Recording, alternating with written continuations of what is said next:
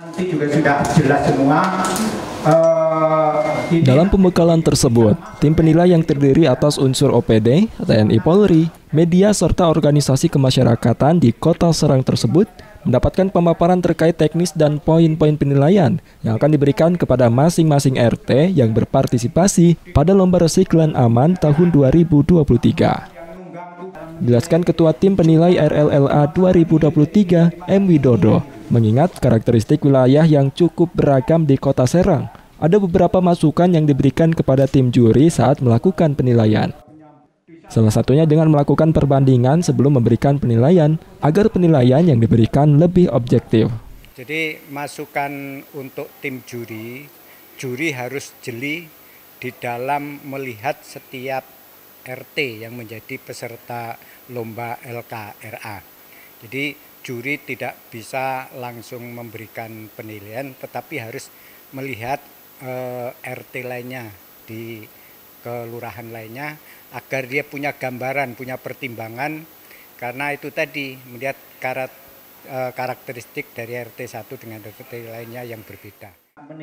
Turut hadir sebagai narasumber, Ketua Tim Penggerak PKK Kota Serang Ade Jumaiyah Syafrudin yang menyampaikan bahwa LRLA telah memberikan dampak yang signifikan terhadap perubahan pola perilaku masyarakat Kota Serang.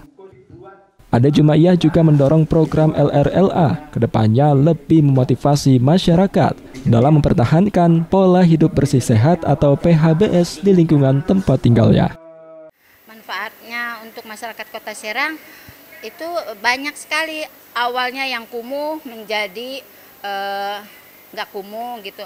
Awalnya yang tidak bisa di e, ternyata bisa dimanfaatkan gitu seperti lahan-lahan yang tadinya tempat sampah e, membuang sampah sembarangan ternyata tempat sampah tersebut dibikin e, ruang terbuka hijau gitu banyak sekali manfaatnya.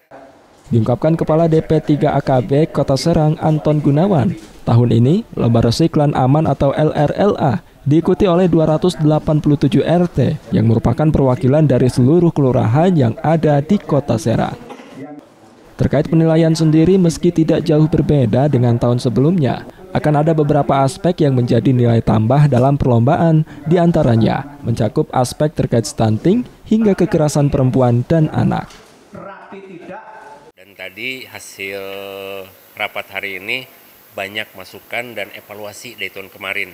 Sehingga mudah-mudahan juri juga uh, lebih aktif tidak hanya sekedar datang melihat tapi ikut berkomunikasi dengan warga. Karena warga itu prinsipnya ingin ditanya. Jadi apa yang telah mereka lakukan mereka ingin menjawab. Tidak hanya sekedar juri datang melihat cukup enggak masyarakat ingin ada komunikasi untuk diketahui, penilaian lomba resiklan aman Kota Serang ini akan dimulai pada 24 Juli hingga 4 Agustus 2023 dengan melibatkan segenap unsur mulai dari organisasi kemasyarakatan, TNI Polri, media, serta OPD terkait di lingkungan Pemkot Serang. Tante Nur Hotimah, Arga Fajar, Tim Liputan Banten TV dari Serang memberitakan. Uh, persiapan kampung resiklan aman sama sekali.